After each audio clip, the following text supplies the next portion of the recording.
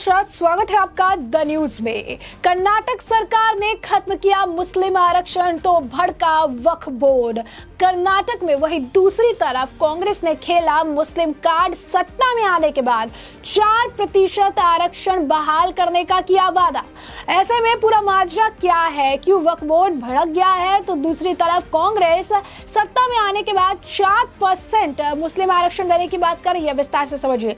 तो कर्नाटक की बीजेपी सरकार ने नौकरी और शिक्षा में मुस्लिमों को मिलने वाली चार फ़ीसदी आरक्षण को खत्म कर दिया है।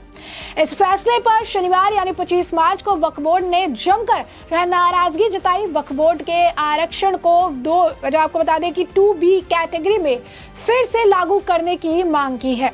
इसी के साथ यह दावा किया है कि सरकार का हालिया फैसला चुनावी राज्य में वोटों के ध्रुवीकरण की एक कोशिश है।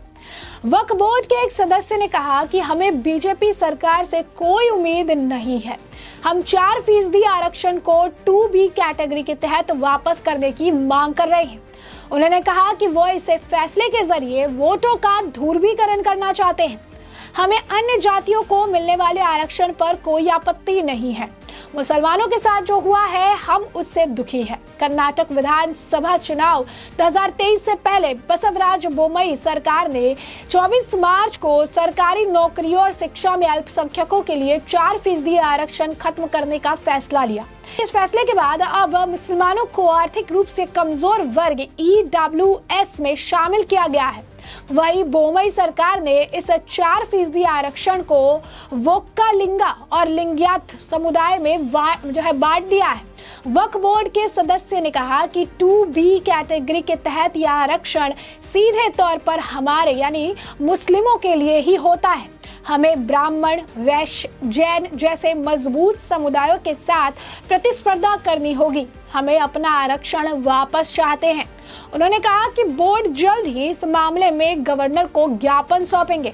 उन्होंने ये भी कहा कि वक्फ बोर्ड को इस मामले में सड़कों पर उतरेगा और विधानसभा की इमारत के सामने इस मुद्दे को उठाएगा। कर्नाटक विधानसभा चुनाव से पहले सरकार ने इस फैसले के ज़रिए वोक्का लिंगा और लिंगियात समुदाय को मिलने वाला आरक्षण कोटा बढ़ा दिया है। वोक्का लिंग लिंगा का कोटा अब चार से बढ़कर छह फ़ीसदी हो गया है। वही लिंगियात समुदाय का कोटा पाँच से बढ़कर सात फ़ीसदी कर दिया गया। यानी इन दोनों समुदायों को दो दो परसेंट जो है कोटा जो है इनका बढ़ाया गया है। मुस्लिम समुदाय को अब गरीब जो है, स्वर्ण वाले ई डब्ल्यू एस के 10 फ़ीसदी वाले कोटे में शामिल कर दिया गया है। वहीं दूसरी तरफ़ सरकार ने मुसलमानों को 10 प्रतिशत आर्थिक रूप से कमज़ोर वर्ग ई डब्ल्यू एस की सूची में स्थानांतरित कर दिया है। कर्नाटक प्रदेश कांग्रेस कमेटी के के अध्यक्ष डी के शिव कुमार ने इस पर एक असंवैधानिक कदम करार दिया है। उन्होंने मीडिया से कहा कि सरकार को लगता है कि वह आरक्षण को संपत्ति बांट सकते हैं, लेकिन यह कोई संपत्ति नहीं है, बल्कि यह अल्पसंख्यकों का अधिकार है। है उन्होंने कहा, मैं नहीं चाहता हूँ कि इसके हिस्से के चार प्रतिशत का आरक्षण किसी अन्य समुदाय को मिले। या अल्पसंख्यक लोग हमारे भाई बहन हैं। संपूर्ण वोका लिंगा और विरशैव लिंगयात इस प्रस्ताव को स्वीकार कर रही है। उन्होंने विश्वास जताया कि अगले 45 दिनों में कांग्रेस पार्टी सत्ता में आएगी। साथ ही उन्होंने कहा कि हम यह खत्म कर देंगे और कहा कि मुसलमानों को ओबीसी सूची से हटाने का कोई अधिकार नहीं है। बोमई सरकार पर भावनात्मक मुद्दों को उछालने की कोशिश करने का आरोप लगाते हुए शिव कुमार ने कहा कि पार्टी अध्यक्ष के रूप में वह घोषणा करना चाहते हैं कि कांग्रेस के सत्ता में आने की स्थिति में मंत्रिमंडल की पहली बैठक में कोटा बहाल करने का फैसला करेगी। वह इस मामले पर गृह मंत्री अमित शाह ने कांग्रेस की आलोचना करते हुए कहा कि संविधान में अल्पसंख्यकों को आरक्षण देने की बात नहीं है। शाह ने कहा कि संविधान में धर्म के आधार पर आरक्षण का कहीं उल्लेख नहीं है, लेकिन कांग्रेस ने वोटों की राजनीति के लिए अल्पसंख्यकों को आरक्षण दिया। अमित शाह ने कहा कि अल्पसंख्यकों को मिला आरक्षण संविधान के अनुसार नहीं था। संविधान में यह प्रावधान कहीं नहीं है कि धर्म के आधार पर आरक्षण मिले, लेकिन कांग्रेस के तुष्टिकरण की राजनीति के चलते अल्पसंख्यकों को आरक्षण का लाभ दिया गया। भाजपा ने वोकालिंगा और लिंगियात समुदाय को आरक्षण दिया। वही कर्नाटक से आरक्षण खत्म करने को लेकर A I M I M यानी ऑल इंडिया मजलिस एतिहादुल मुस्लिम नए प्रमुख असदुद्दीन ओवैसी ने कर्नाटक की बीजेपी सरकार पर जमकर हमला बोला। उन्होंने कहा कि कर्नाटक सरकार ने शिक्षा और नौकरियों में गरीब मुसलमानों के लिए आरक्षण हटा दिया है। यह नरेंद्र मोदी की मुस्लिमों तक पहुँच बढ़ाने और पसमानदा मुसलमानों के लिए प्यार है, चाहे वह हिजाब हो या आरक्षण। मुसलमानों की शिक्षा, रोज़गार और प्रगति टारगेट पर है। इसी तरह वक्फ बोर्ड ने भी सरकार के फैसले पर नाराज़गी जताई। वक्फ बोर्ड ने भी आरोप लगाया कि बसवराज बोमई की सरकार ने यह कदम वोटों के ध्रुवीकरण को ध्यान में रखते हुए उठाया। बता दें कि कर्नाटक में विधानसभा चुनाव से ठीक पहले बीजेपी की सरकार ने यह बड़ा दाव खेला है। मुख्यमंत्री बसवराज बोमई के नेतृत्व वाली सरकार ने मुसलमानों के लिए आवंटित चार प्रतिशत आरक्षण को खत्म कर दिया इसके साथ ही राज्य में आरक्षण कोटे में बड़े बदलाव किए गए हैं। अब एससी को 17 प्रतिशत आरक्षण दिया जाएगा। लिंगियात वोकालिंगा समुदाय के लिए आरक्षण में बढ़ोतरी की गई है।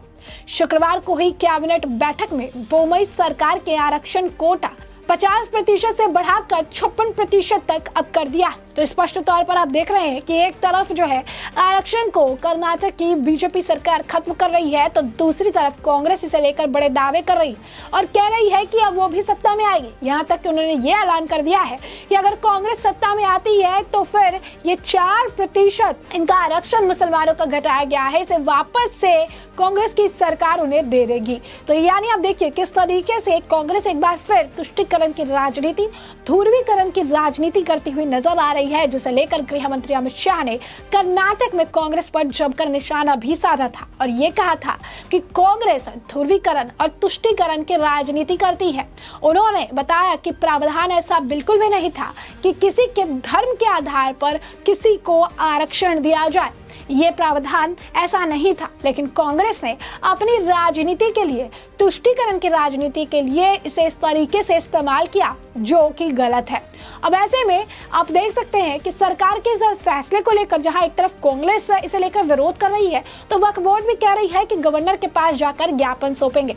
इसी के साथ साथ अगर आप देखेंगे तो असदुद्दीन ओवैसी का भी कहना है कि मुसलमानों की शिक्षा, रोज़गार और उनके प्रोग्रेस में डेवलपमेंट में जो है ये रोड़ा है और इसे खत्म करने का प्रयास किया जा रहा है। अब ऐसे में ये देखना दिलचस्प होगा कि कर्नाटक की जंग कौन जीतता है, क्योंकि कर्नाटक में आने वाले समय में विधानसभा चुनाव होने वाले हैं।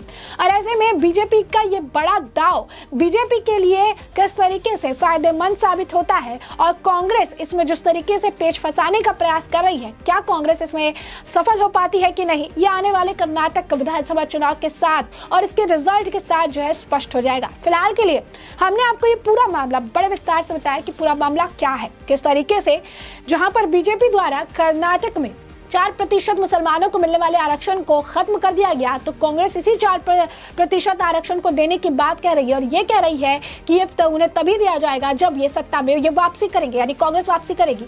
अब ऐसे में आने वाले समय के साथ पता चलेगा कि कौन सत्ता में वापसी करता है या फिर फिर से बीजेपी अपना जो आप कह सकते हैं कि सत्ता में जो है दोहराती है। फ़िलहाल के लिए इस पूरे मामले पर आपकी जो राय हो, हमें कॉमेंट सेक्शन में कॉमेंट करके ज़रूर साझा करें। धन्यवाद।